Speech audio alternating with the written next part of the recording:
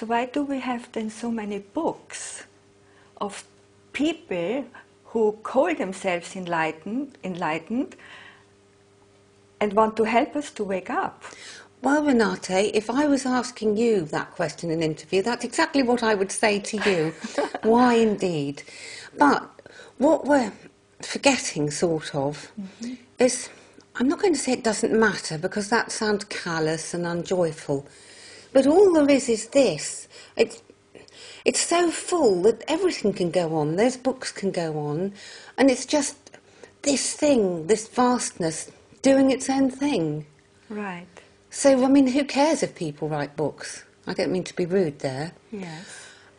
Um, and I'm a great one for helping people mm-hmm. In in my life, but I would never, never presume to say that I could help someone become enlightened because I can't.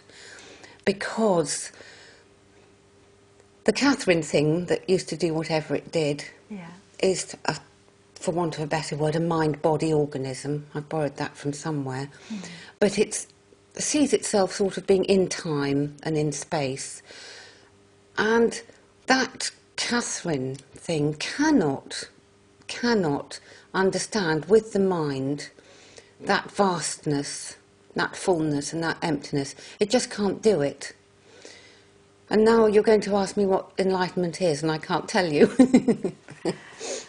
um, no, I actually wanted. I read. I, I, read an interesting sentence in one of, of the books I read lately, mm.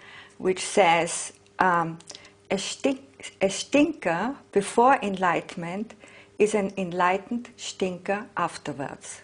So, what you're basically saying, there is, I mean, and as we spoke before, you, you were telling me you still can get angry, and you still, if if you go down the road with your bike and, and the car is cutting you, you you show him your finger or whatever you said.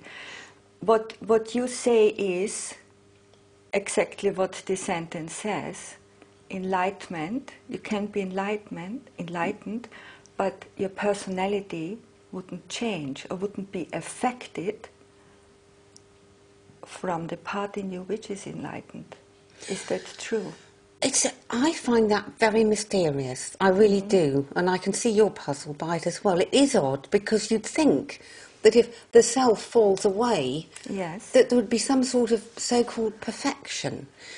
But then you think, well, what is perfection in terms of this vastness, mm-hmm. of this fullness that is also empty, this truly unconditional love? yes. which the mind cannot possibly attain. What is perfect? And who really is some mind body organism to say that everything isn't perfect just as it is? Except I wouldn't use the word perfect because I think it's misleading. Mm-hmm. So I've struggled with that, with stinkers, liberated stinkers. Yes. But why should, why should it change? What would your idea be of someone who was liberated and was just perfect in their behaviour? What would your idea be? How would they behave? Um, yeah, it's an interesting question. How would they behave? Uh, they would, you know, I have an idea how they shouldn't behave. Yeah. You know, I, yeah. I, I, I met several teachers, mm. and as we know, most of these enlightened teachers they have a problem with sex, with money. I mean, they sleep with their disciples. They have problems with money, and they have problems with power. Now, I believe um, if somebody is in this space of enlightenment and love, that he couldn't do that. Yeah, I have a problem with that too. It's really tacky, in my view. Yeah. Um, first of all, are they liberated, or whatever word we're going to use? I yeah. mean, who knows? Right. What I've always found interesting that one so-called liberated person can't tell if someone else is, which surprised me. Yes. Can um, you can you see this if somebody is no, liberated? No. No. I think I can sometimes tell if they're not. But can people see that you are liberated? No. No, definitely not. Isn't it in your behavior, the way you behave to certain things? No, I don't Not think so. getting involved uh, uh, in, in emotions or in pain or in disasters, but being more detached because you know who you are. And now I, I know I hear you saying there isn't anybody there who knows it. uh, I think it would be obvious. Well, you could ask my husband, Yes. and he would probably say it isn't obvious. Yeah. I'm, it, it is a mystery to me. I'm not going to fall into the trap of thinking I've got the answers. Heaven knows why it is, but stuff still goes on. Yeah. And as I said earlier, some things have felt worse or more keenly than before. And it is a mystery to me. Yeah.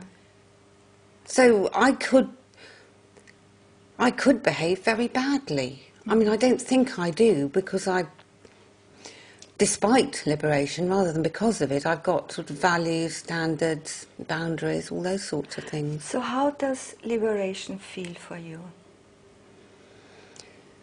Or um, how, how is it? How, how can you describe the space? I mean, you said it's fast and it's full and it's empty, And it's paradoxical. it's paradoxical. How can I describe it? Well, Why, why are we so compelled to find this space if nothing is changing listening to you? What, what is this in us? Well, I'm not exactly going to answer your question. I'm going to answer it in a sideways way because what I forgot to say was that I'm no longer seeking. There is no seeking. There's not that constant worry about am I doing the right thing? Have I learnt enough mantras? Have I been to the right teacher? If I sit up straighter, will I become enlightened? If I stop having sex, my kundalini will rise and then I'll be enlightened. Mm. Should I have sex at all? Mm. Is chocolate okay? Mm. All gone. Now that's well worth it. Yeah.